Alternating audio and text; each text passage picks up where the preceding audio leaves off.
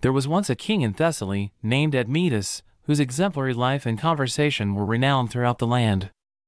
His piety towards the gods was only less remarkable than his scrupulous fulfillment of his duties towards his fellow men. He was an obedient son, a tender husband and father, a kind master to his household slaves and the serfs on his domains. Above all, he excelled in the virtue reckoned the highest by men of the ancient world, the virtue of hospitality. No stranger, however humble, ever came to the king's house in his town of Pheræ, but he was received as a welcome guest and given lavish entertainment. And none honored more faithfully than he the sacred reciprocal claims of host and guest, the inviolable bond of the shared meal and the shelter of one roof. Admetus had become king while he was yet a young man and while his parents were still alive. He, their only son, was born to them late in life, so that they were already old when he came to manhood, and Pheres, his father, oppressed with the infirmities of age, had chosen to give up his kingdom and palace to his heir and live retired on a manor near the town. But first he arranged a marriage for his son. The wife he chose for him was the daughter of his own brother Pelias, a maiden called Alcestis. Now this Pelias had got by force and fraud the lordship of Iolcus, a harbor town in the north country, dispossessing the rightful king, and he held it many years with a strong hand, until that king's son, whose name was Jason, overthrew the usurper by divine providence.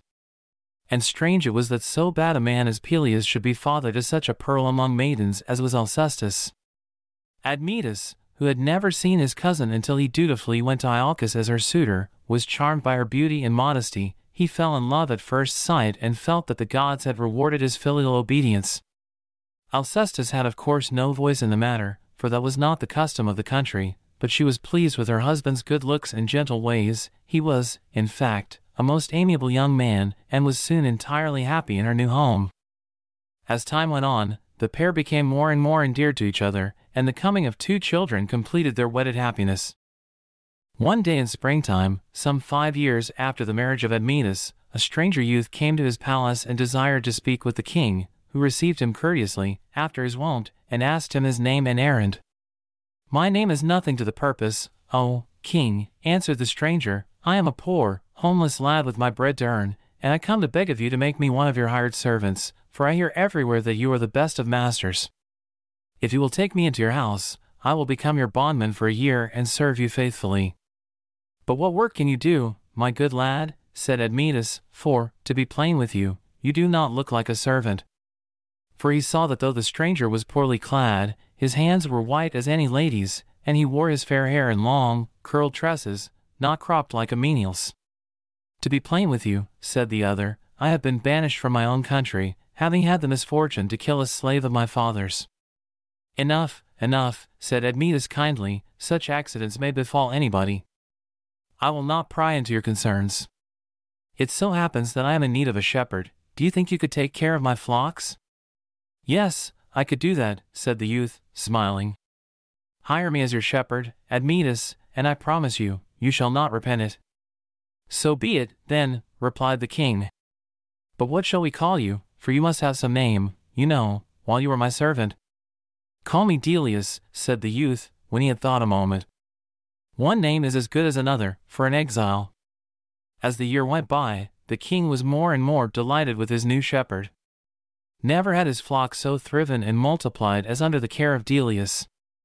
In the lambing season, all his ewes brought forth twins, and yielded milk in pailfuls, after satisfying their younglings.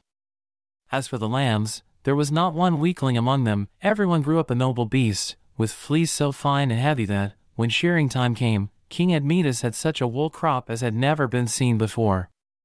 No sickness touched the flocks all that year, no prowling wolf broke into the folds or made prize of a stray lamb. And Admetus, seeing his wealth thus increased, often blessed the lucky hour that had brought this flower of shepherds to his door. Meanwhile, Delius remained much of a stranger to his master and his master's household. His occupation took him afield all day, he lodged in the servants' quarter of the palace and shared their meals, but he rarely spoke to them and seemed wrapped in his own thoughts. They might have resented this but for an extreme gentleness of manner and a readiness to make himself useful in small domestic tasks, which won their goodwill. They set him down as well-meaning enough, but a little moonstruck. Country folk brought odd tales of his doings in the upland pastures. It seemed he would sit for hours playing on a harp he had made, shepherd fashion, with bits of wood, and sheep's sinews, and the shell of a tortoise, playing to his sheep, and they would leave off nibbling the grass, and gather around him. That might be, sheep were silly enough for anything. But as for the story that wolves and foxes and other woodland creatures crept out of the thickets and lay down beside the sheep, listening also, that was, of course, an absurd invention of those ignorant rustics. Here, in Pheræ, one knew better. The year had passed, and the youth who called himself Delius stood before his master and claimed his discharge. Here are your wages for the year, said the king, they are twice what I paid to my last shepherd, but I own they are well earned. And I will gladly double them, if you will remain with me. It may not be, Admetus, said Delius, for my term of bondage ends today. Your kindness has made it light to me and shall not go unrewarded. But first, know who speaks to you, I am Phoebus Apollo. And as the king stared at him amazedly, the form of the young shepherd seemed to grow taller and more stately, his countenance took on celestial radiance, and a glory played around his golden hair. Overcome with awe, Admetus bowed his head, saying, Be propitious to me and mine, O, high and holy God. Look up, and fear not, Admetus, said the god, graciously. Trust me, I shall ever be a friend to this hospitable house. Now learn what brought me hither. You have heard of the great physician Asclepios, my son by a Thessalian maiden, and the miracles of healing that he wrought through the divine knowledge I gave him. In an unhappy hour, Asclepios was tempted to use his art beyond what was lawful, even to bring a dead man back to life. And thereupon Zeus slew him by a thunderbolt, lest the decrees of the fates should be made of none avail, and death be robbed of his dues. Then, in wrath and grief for my son's loss, I sought to avenge him, and with my arrows I slew the Cyclopes, the sword artisans of Zeus, who forge his thunderbolts. And for this, Zeus condemned me to be banished from the heavenly halls and become the servant of a mortal for the space of one year. My penance ends today, and now I go to take my place once more among the Olympians. But before I bid you farewell, Admetus, you shall desire what boon you will of me, in reward for your gentle treatment of your servant Delius. Think well what it shall be. The king reflected for some moments, and then, Lord Phoebus, he said, I am now so prosperous a man that I have nothing left to wish for. By your blessing upon my flocks, I have more than ample wealth, my kingdom is at peace, my folk are loyal. I have a beautiful and most loving wife, and fair, thriving children. Grant me this, then, to live enjoying all the good things I now possess, to a green old age. Half your prayer, answered the god, I willingly grant, but the other half is beyond my power.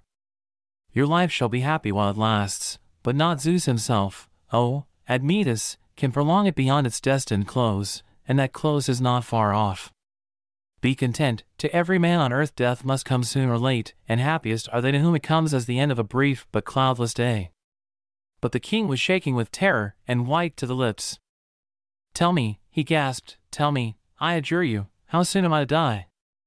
It were best you should not know, said Apollo, yet, since I am loath to deny you anything, the day of the next new moon is fated to be your last. At that, Admetus broke into a passion of weeping, and casting himself down at the god's feet, wildly besought him to have mercy, to give him but one more year, one little year of life, though never so wretched, he cried out that there must be some way, there must be something so mighty a God could do to save him, if he had any pity, if he had any gratitude towards one who had shown him all possible kindness, Apollo could not abandon him. Or was there indeed no pity with the gods? Were men to them as flies to wanton boys, things to be killed for pastime? Apollo listened unmoved to these wild and whirling words until the king's passion had spent itself, then gently said, Rise, Admetus, and hearken to me. There is one way of escape if you can consent to take it, and I see now that you will consent. That you may know that I am not ungrateful, I will do a great thing for your sake. I will persuade the throne sisters, the three fates, to accept the life of one of your kindred instead of yours. But that life must be freely given. If, then, you can find such a substitute, you may live. More I cannot do for you, and so farewell. And that's it for now. Subscribe to the podcast if you haven't already, classicsness.com. And if you want to know more about classics and even learn Latin online, check out latinfromscratch.com.